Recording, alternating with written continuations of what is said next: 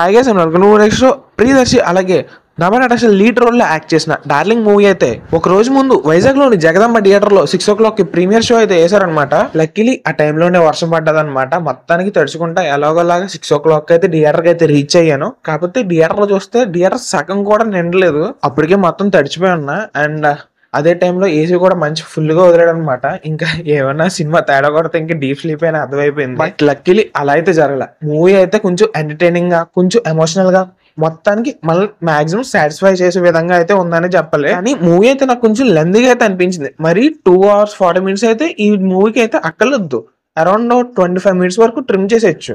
అసలు movie complete రివ్యూలోకి వెళ్ళే ముందు ఒకసారి స్టోరీ వైపు ఒక బ్రీఫ్గా లుక్ వేస్తాయి లైఫ్లో ఇంకేం లేదు చనిపోదాం అనుకున్న హీరోకి అదే టైంలో హీరోయిన్ పరిచయం అయ్యి తర్వాత వాళ్ళిద్దరు పెళ్ళి చేసుకున్న తర్వాత హీరోకి ఎలాంటి ప్రాబ్లమ్స్ ఎదురయ్యాయి అన్న విషయాలన్నీ మనం ఈ మూవీ చూసి అయితే తెలుసుకోవాలన్నమాట. నిజానికి ఇది చాలా సింపుల్ స్టోరీ లైన్ అనే చెప్పాలి కానీ దానికి స్ప్లిట్ పర్సనాలిటీ డిజార్డర్ అనే కాంప్లెక్స్ని యాడ్ చేసి మూవీ టీం చెప్పాలనుకున్నది బాగా ప్రజెంట్ చేశారని చెప్పాలి. కానీ మూవీ స్టార్టింగ్ ఒక ట్వంటీ ఫైవ్ మినిట్స్ అయితే సింగిల్ లైన్లో చెప్పేసి దాన్ని around twenty five minutes drag చేసినట్టయితే అనిపించింది. కానీ మూవీలోని మెయిన్ స్టోరీ మొదలైనప్పటి నుంచి ఇంటర్వెల్ వరకు మూవీ ఫన్నీగా ఎంటర్టైనింగ్ అయితే వెళ్ళిపోద్దని చెప్పాలి. అండ్ అలాగే ఇంటర్వెల్లో రేస్ చేసిన పాయింట్ అయితే సెకండ్ హాఫ్ ఎలా ఉంటుందని క్యూరియాసిటీ పెంచే విధంగా అయితేనే ఉంది. మొత్తానికి సెకండ్ హాఫ్ స్టార్ట్ అయినప్పటి నుంచి డీసెంట్గా వెళ్తుందన్న ఫీల్ అయితే వస్తుంది.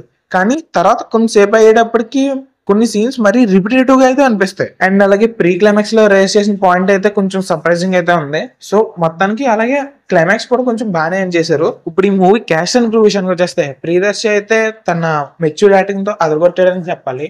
అండ్ అలాగే నభనటాష అయితే స్ప్లిట్ పర్సనాలిటీ డిజార్డర్ ఉన్న క్యారెక్టర్తో తన వెస్టైల్ యాక్టింగ్ని డెలివర్ చేసిందని చెప్పాలి.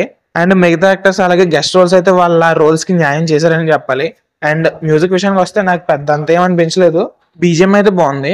అండ్ సినిమాటోగ్రఫీ అయితే పర్లేదు. అండ్ uh, ప్రొడక్షన్ వాల్యూస్ కూడా బాగానే ఉందని చెప్పాలి. సో మొత్తానికి ఈ మాన్సూన్ టైంలో ఫ్యామిలీతో కలిసి సరదా కాసేపు నవ్వుకోవడానికి కొంచెం థ్రిల్ అవడానికి ఈ మూవీని ఒకసారి ట్రై చేస్తే ట్రై చేయొచ్చు. సో స్టార్టింగ్ ఒక ట్వంటీ ఫైవ్ మినిట్స్ అలాగే సెకండ్ హాఫ్లో కొన్ని మిడిల్ పోర్షన్స్లో ల్యాక్ సీన్స్ని బేర్ చేయగలిగితే ఇది ఒక మంచి ఎంటర్టైనింగ్ మూవీ అనే చెప్పాలి. వీలైతే థియేటర్లో ట్రై చేయండి. అండ్ ఇన్ కేస్ మిస్ అయితే మాత్రం ఓటీటీలో అస్సలు మిస్ అవద్దు it's worth watching so that's the review ఈ రివ్యూ కానీ మీరు నచ్చినట్టయితే ఇలాంటి మరెన్నో మూవీ రిలేటెడ్ ఇన్ఫర్మేషన్ కోసం మా మూవీ డెక్స్ సబ్స్క్రైబ్ చేయండి and keep watching Movie Dextro